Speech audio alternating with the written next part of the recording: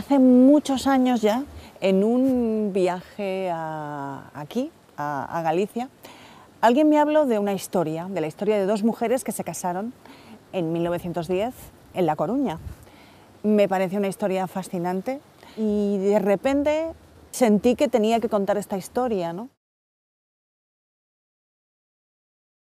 Es la historia de dos mujeres, Elisa y Marcela, dos maestras, que se conocieron, se enamoraron y, se casaron. Una de ellas, eh, Elisa, se, bueno, usurpó la personalidad de un primo suyo que había muerto, falsificó los papeles, se travestió de hombre y las dos se casaron en, en la iglesia de San Jorge, en La Coruña.